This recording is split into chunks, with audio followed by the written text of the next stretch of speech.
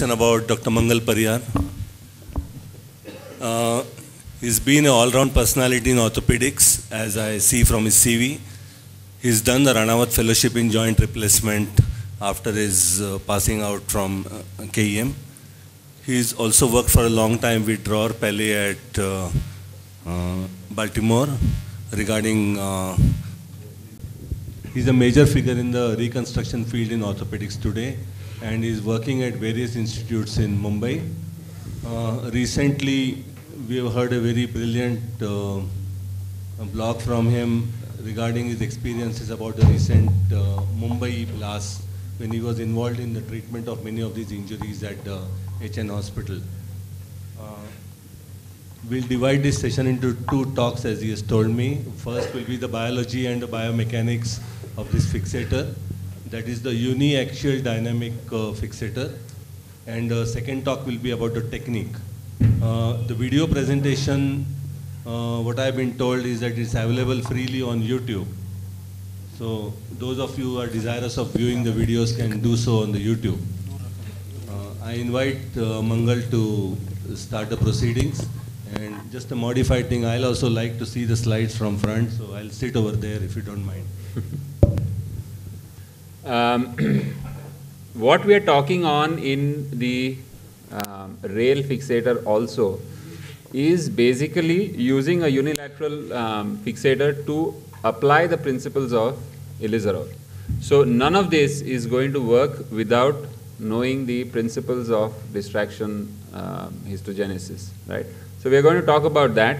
I am also going to talk about um, some issues of biomechanics and then hopefully we can have some uh, question answers that are that come up from this. So what Ilizarov described about distraction histogenesis was that controlled distraction in a stable environment leads to neohistogenesis. So you need the uh, biology and you need the biomechanics over there.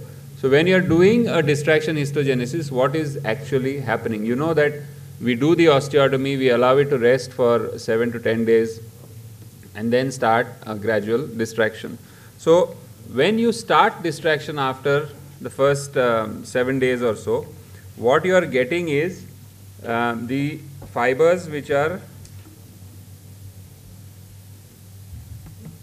oriented oriented in a uh, parallel sort of uh, fashion. No, that's fine. I, I can show it from here. Uh, fibers which are oriented in a parallel um, fashion. All the cells which are there, which are mesenchymal cells, fibroblasts, they also start getting oriented in a uh, longitudinal direction.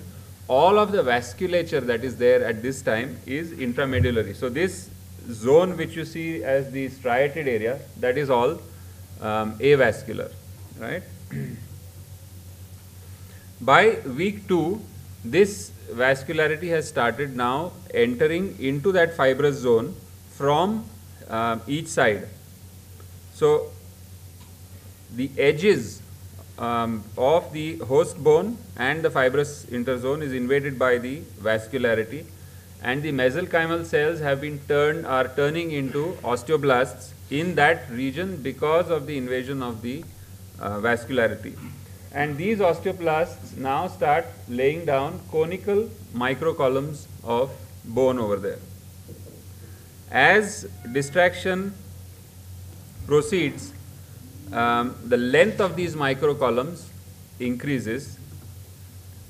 The fibrous interzone, that is the centralmost portion of this, continues to remain avascular till the time that distraction is uh, going on.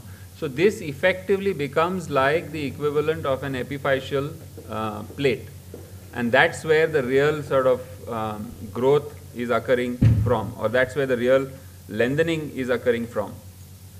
And this area where you have the microcolumns which are formed is known as the primary mineralization front. So in the earlier sort of slides you saw that the vasculature which is a sort of microvasculature has come up to the mineralization front. now you start having vascular sinuses also at the PMF, which is just a function of the further maturation of the vascularity at that region. Now, so this process continues as long as you continue um, distraction. And normally we say that the fibrous interzone in this uh, region uh, should not exceed more than about one third or half of the distraction gap. If you see that the fibrous interzone is, is more than one third or half of that, it probably is a good idea to slow down the um, distraction. So you are not left with a situation where suddenly you have four and five centimeters of a gap and no bone in between, and then you have to go around asking people, you know, what now what should I do? Because you've got a non-union down and a non-union um, on top. Once the distraction is stopped, your micro columns from each side uh, they sort of come and meet each other and you now have a complete consolidated area of bone. This is not your normal lamellar bone, this is a uh, endochondral ossification kind of bone. So this is just one big sheet of um, bone.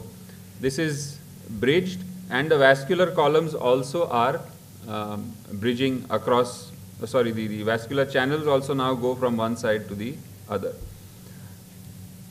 over a period of almost a year to two years, this then remodels to what we call as normal bone, where the bone is now in a Haversian system.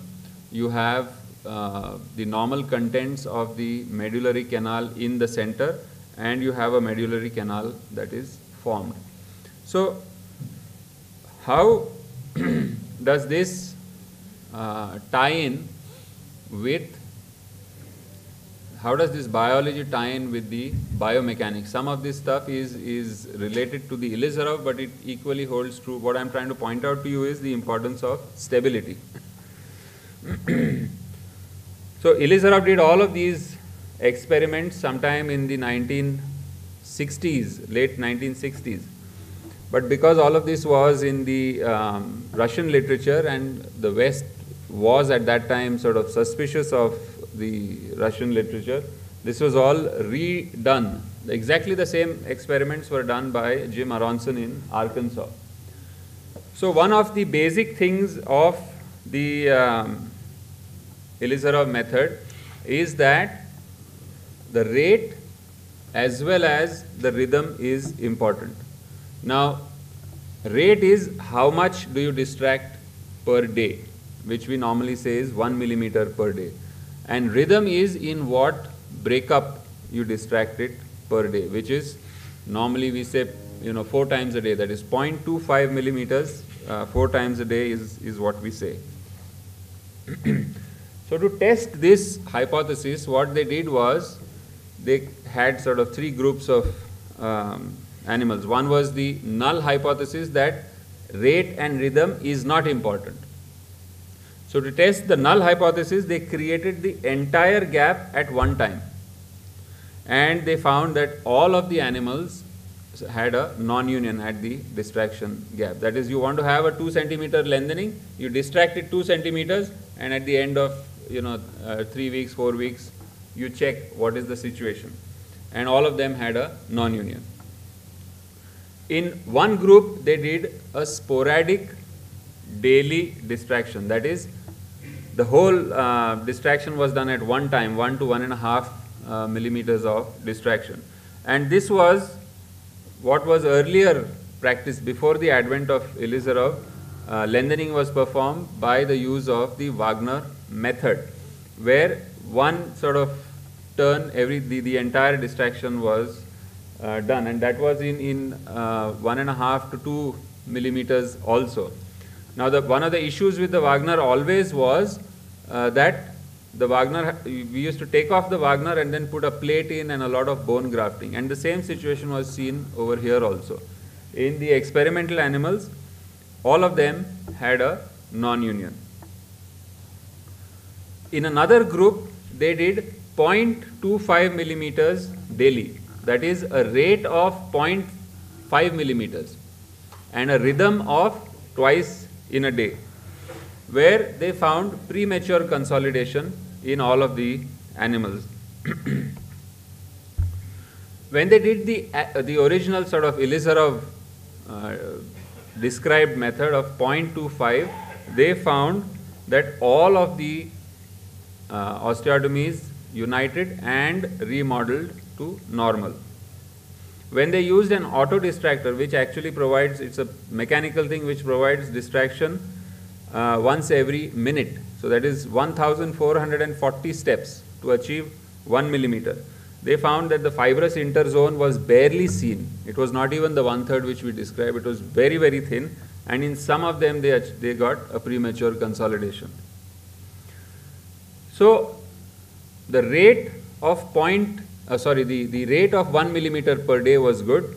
The rhythm of 0.25 millimeters four, time, uh, four times daily was good.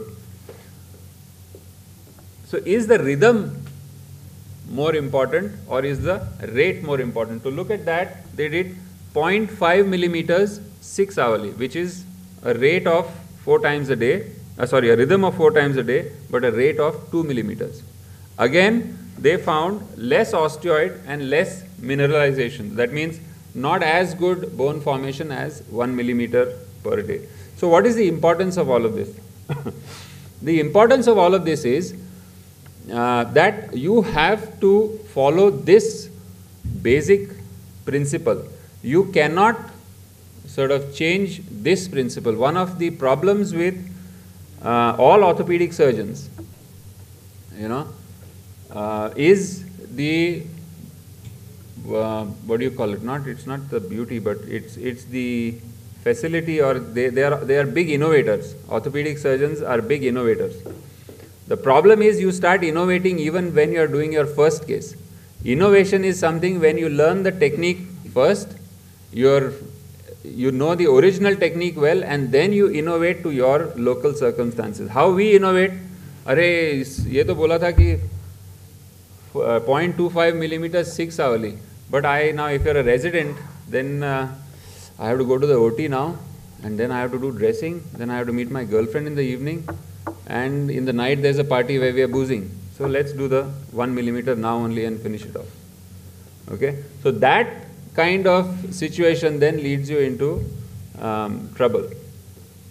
It's much easier for us to teach the patient how to do this so that you can do the 0.25 millimeters 6 hourly. As of even today, I mean, this is we've started. I've been doing it now for since 92, and we still follow this principle uh, without any sort of trouble. then the importance of stability. To look at the issues of stability and that of the, um, the way that the osteotomy is done. Uh, there's a lot of talk about how the osteotomy should be done, and most of you all who, who are not very conversant with the Ilizarov, I'm sure have the idea that the Ilizarov is um, only cutting the cortex. Technically, that is not possible. I cannot do that. And I think this misinformation comes about from one of those famous pictures in Ilizarov's textbook, where there is a picture of a you know corticotomy, or the the cortex has been cut, and they've done a dye injection where you can see the uh, where you can see the uh, vessel still intact. And that is what everybody is supposed to do. But it, it doesn't happen like that. Because the, normally the place where we do the osteotomy is in the metaphysis. When you do the metaphysis, there is no artery over there. It has already sort of uh, broken up into multiple small uh, branches. But the idea of what Ilizarov said in terms of corticotomy is a low energy osteotomy so that you, you damage the soft tissues or the um, vascular potential of that area to the minimum. So how they studied this was they used the standard four ring construct which was stable and did three kinds of osteotomies. One was an open osteotomy which is what the uh, Italian group does, De Bastiani and all that's what they described, where they do a large um, incision about uh, inch, inch and a half expose the periosteum, retract the periosteum, make multiple drill holes in the bone, cut the bone through and through, and then uh, do the distraction after 7 to 10 days. Second is the two-third osteotomy, which is what was described by uh, Ilizarov. That is only a small 10 millimeter incision on the front. Cut the medial cortex, cut the lateral cortex, and the posterior cortex is broken by rotational osteoclasis. And the third group was the closed osteoclasis, where what they do is uh, like you would break a bamboo or a piece of stick, where you know you have one point against which you bend it. So what they did to focus the force was pass a wire very close to the bone without cutting the bone, and then just bend the bone against that wire. So that led to a closed osteoclasis at that point. now, what they found in all the three groups was that the entire gap was filled by osseous tissue. The only difference was with a two third osteotomy, what they found at day 7 was found at day 14 with an open osteotomy, which basically says that when you have created more sort of iatrogenic damage, it takes a little more time for the body to heal. So normally, if the, even the Italian group would say that 10 to 12 days after the osteotomy, they would start uh, distraction. So that's a function of how much so injury has been caused.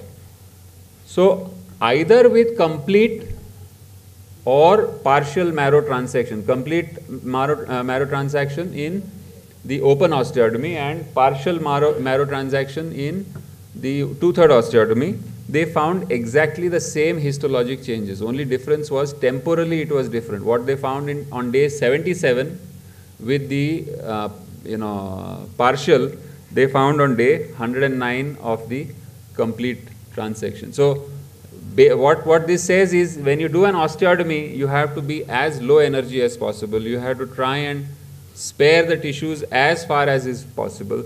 If you have imparted more energy than you would like, then you wait for a little longer before you start distraction. when they looked at stability, how they looked at stability was they used one wire, uh, one ring in the proximal, one ring in the distal segment with wires which were not tensioned, that is minimal stability. Then they used one ring in each segment with wires that were tensioned, that is a better stability. And then they used four, rather two rings in each segment with properly tensioned wires, and that was the best stability. So, with the maximum stability, what they found was the direct intramembranous uh, class, uh, ossification. And with minimal stability, they found what, it, what they found was more of fibrous tissue and non union. With intervening stability, they found a little bit of uh, cartilage and a sort of true synovial pseudarthrosis forming. So, the lesson for us is that when you are trying to do a distraction osteogenesis, um, you cannot just slap on three rings, two rings, and two wires in each. No, you got to have, you got to know what is the stability um, whatever fixator you are using, even if you are using um, the rail fixator like what we are going to discuss, you got to look at the stability. There are inherent issue uh, sort of factors which lead to stability in, in this fixator, but you have to know what those um, factors are. Now, in, in relation to um, the pathophysiology, that is how this relates to the um, biomechanics is that when you have instability, you have something which is more than micro motion, what we call macro motion, and that would lead to shear. And all those micro columns which I showed you in the first few, few slides, all that microvasculature which I showed you in the first few slides, that forms, and every time there is a shear motion that breaks away. So the body doesn't get a chance to build up onto what it has been um, doing. And the rate and rhythm is probably affected by the uh, cellular pathways that the amount of ATP that can be uh, created or the amount of uh, activity that the mitochondria will tolerate or will generate is only so much. So if you go beyond 1 millimeter per day, the at a micro level, they just, the, the cellular pathways just cannot keep up with the amount of stuff that is um, required. So we say it very often that uh, sometimes if you find that you are marching in a, you know, a bunch of soldiers marching in a column and some of them get ahead, then you have to wait till the rest of them catch up. And that's what we frequently have to do when we are uh, monitoring. So, all your other surgeries, you know, uh, when you are doing an internal fixation, when you are doing a knee replacement, the whole sort of team is at maximum uh, level of attentiveness, etc. As soon as you enter into the OT, the patient is induced, you open everything, you are working with your all concentration um, over there till closure, and once you've closed it, you sort of forget about that. And that's what you call an operation. The time when you know you are maximally giving attention to that. The main or the important difference between the Ilizarov technique and other methods of treatment is the Ilizarov operation starts with the application of the fixator and ends with the removal of the fixator. So your level of attention and the level of sort of monitoring has to be during this entire time, not forget about the patient once he comes out of the OT. So you have to keep monitoring the patient with X-rays, clinically, etc., um, all the time. Now, if you do a traumatic corticotomy, then you will create a disturbance in blood flow, and therefore, obviously, you have to wait for a little while before you start the distraction. Um, and if you do an early removal, this is the other problem that a lot of people have. I, I keep telling um, people that you know do fellowships with me and sometimes patients that if I have better results in terms of Ilizarov than the next guy, it is probably number one reason is I am better able to resist patient pressure for early removal. I see this too often that all right, we've finished the lengthening, now we'll take off the fixator and put on a cast. If a cast is more convenient than the fixator that you put on, then you have not put the fixator on well. Because with, with the fixator, patient can bathe, patient's joints are, are moving. So, you know, it, you have to put on your fixator so well that after it's healed, you take off the fixator and nothing else should be required. That's when you take out the fixator. So that's that's about the uh, biology.